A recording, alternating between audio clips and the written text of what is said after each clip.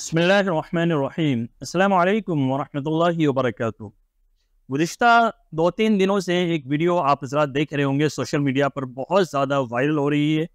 जो वीडियो मुजफ्फ़रनगर के किसी इलाके की बताई जा रही है, वहाँ पर एक स्कूल के अंदर एक टीचर ने एक मुस्लिम लड़के को गैर मुस्लिम लड़कों से पिटवाया है और वहाँ पर ये कहकर पिटवाया कि ये मुस्लिम लड़का है, मोहम्मद लड़का है, इसको मारो।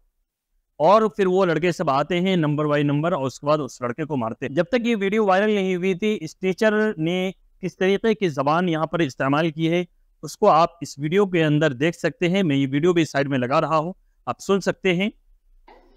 गरी होगा शायद मैं देखा भी नहीं अभी सही से। नहीं तो डिक्लेयर कर दिया। ये तो देख। सही कह रही जी पढ़ाई खराब हो।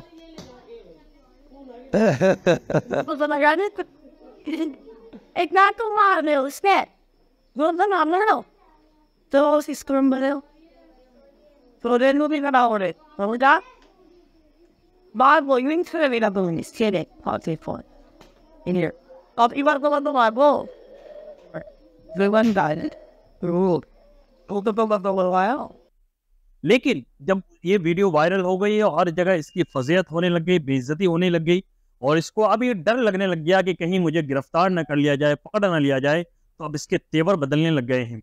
और इसने जाकर उसके वालिदैन से माफ़ी भी मांगी है, जहाँ तक सुनने में आ रहा है, और समझौता भी कर लिया गया है। इस वीडियो और इस वाक़े को देखकर आप हजरात को भी बहुत ज़्यादा तकलीफ़ हुई होगी, और मुझे भी बहुत ज़्यादा तकलीफ़ हुई, और अंदर से दिल एक तरीके से रोने लग गया कि आखिर वो नफरतबाजी जो आज पहले सड़कों पर चल रही थी, सियासी मैदान के अंदर चल रही थी सियासी पार्टियों के दरमियान और कुछ जो नफरती संगठन है उनके दरमियान चल रही थी, आज वो नफरत की हवा जो है एक स्कूल के अंदर, जहाँ तालीम दी जाती है, जहाँ बच्चों को पढ़ाया जाता है, जो शिक्षा का मंदिर कहलाता है, शिक्षा वहाँ दी जाती है, तालीम और तरबियत की जाती है, आज वो नफरत की हवा वहाँ तक पहुँच चुकी है, नफरत की चिंगारी को वहाँ तक पहुँचाया गया है, और ये कहीं ना कहीं इस देश के लिए, हम सब के लिए बहुत ही ज़्यादा ख़तरनाक है।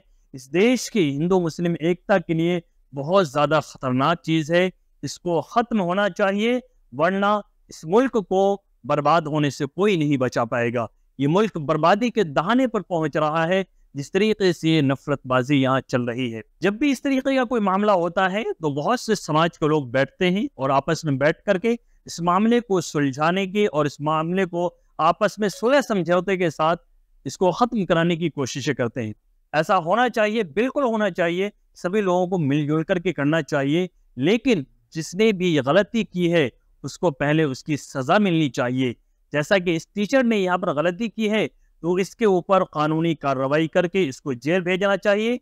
इसको किसी भी तरीके से छोड़ना नहीं चाहिए, वरना आज इसने किया है कल होकर के कोई और भी इस तरीके से कर सकता है। और जब इंसान देखता है कि इसके ऊपर कोई एक्शन नहीं हुआ है, कुछ कार्रवाई नहीं हुई है तो दूसरे लोगों को भी इससे हौसला मिल जाता है। तो ऐसे जो लोग भी हैं, उनकी हौसला शिकने के लिए ज़रूरी है कि कानूनी कार्रवाई की जाए। इसी के साथ साथ कौम के जो भी हमदर्द हैं, मालदार लोग हैं, साहिब हैसियत हैं, जिनको अल्लाह तबारक ताली ने हैसियत दी है, जिनके पास मालो दौलत है, वो लोग आगे बढ़ें और आगे बढ़ करके अपने अपने इलाके के अंदर जहाँ भी वो रहते हैं वो अपनी स्कूल्स खोलें कॉलेजेस खोलें, ताकि हमारे बच्चे दूसरे के स्कूलों के अंदर ना जाएँ, हमारे बच्चे दूसरे के कॉलेजों के अंदर ना जाए, जहाँ पर उनको इस तरीके की नफरतबाजी को झेलना पड़े और इस तरीके से जो उनका नफरती एजेंडा है, उसमें वो बच्चे फंस कर उनकी आने वाली जो ज़िंदगी है, वो बर्बाद हो जाए। तो अगर जो लोग भी जहाँ पर भी हैं, हर इलाके के अंदर कुछ ना कुछ साहिब हैसियत लोग होते हैं, वहाँ के लोग मिलकर के आपस में मशवरा करें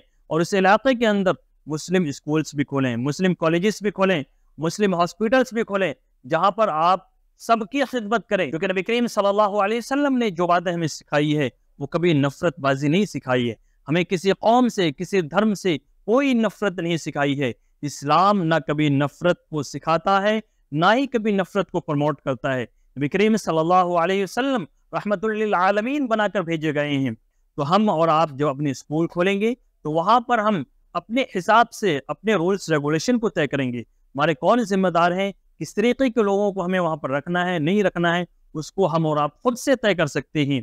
तो जब स्कूल हमारे अंडर में होगा, जब उसकी जो मैनेजमेंट है, वो हमारे अंडर में होगी, जब ही ये काम हो सकता है। वरना आप दूसरे के स्कूलों में इसी तरीके से भेजकर अपनी भी जिल्लत करवाते रहें और अपने कौम की भी जिल्लत करवाते रहें और इसी तरीके से कौम के नौनिहाल जो बच्चे हैं, उनकी ज़िंदगी बर्बाद भी होती रहेगी और इस तरीके के कितने हज़ारों नौजवानों को भी मौत के घाट गुज्त कुछ दिनों से उतार दिया गया इसी नफरतबाजी के चलते। तो इसलिए आज वक्त की ज़रूरत है कि हर इलाके के अंदर जो मुस्लिम तंजीमें हैं, उनको भी इस चीज़ के अंदर बढ़ चढ़ करके हिस्सा लेना चाहिए। ख़ास तौर से जमीयत हिंद, जो एक हिंदुस्तान की बड़ी मुस्लिम तंजीम है, और वो मुजफ्फरनगर के जिस गाँव का ये वाक़ सुनने में आ रहा है, वहाँ के अक्सर बेशतर जिम्मेदारान भी उसी गाँव के हैं। उन लोगों को भी इस सिलसिले में बढ़ चढ़ करके आगे आना चाहिए और वहाँ पर बेहतरीन नज़म के साथ, अच्छे मैनेजमेंट के साथ स्कूल्स खोले जाएँ ताकि मुसलमानों के बच्चे वहाँ पर जब जाएँ तो अपनी पहचान को लेकर भी जा सकें और दीन के साथ साथ वो दुनिया को भी सीख सकते स्कूली पढ़ाई को भी कर सकें कॉलेज में भी पढ़ सकें और दूसरे तमाम तर जो डिग्रियाँ हैं, वो तमाम के तमाम वो हासिल कर सकें। माशाल्लाह, बहुत सारे मुस्लिम इलाके ऐसे हैं जहाँ पर मुस्लिम तंजीमें बहुत बेहतर काम कर रही हैं, बहुत अच्छा काम कर रही हैं। लेकिन उसके साथ साथ आप लोग इस काम को अव्वल दर्जे पर रखें कि उस इलाके के अंदर जहाँ पर भी मुस्लिम पॉपुलेशन ज़्यादा है, वहाँ पर मुस्लिम स्कूल्स ज़रूर खोलें ताकि वो बच्चे जो गैरों के स्कूल में जा रहे हैं, गैरों के तरीके से, गैरों के रिवाज से, रस्म से वो तालीम हासिल कर रहे हैं, वो वहाँ पर मुस्लिम स्कूल्स के अंदर जब जाएँगे तो अपने दीनी माहौल के अंदर उनको तालीम मिलेगी। तो इन उनकी दुनिया भी संवर जाएगी और आखिरत भी संवर जाएगी। उम्मीद है ये बातें जो आपको बताई गई है, तमाम बातें आपको सही तरीके से समझ में आ गई होंगी।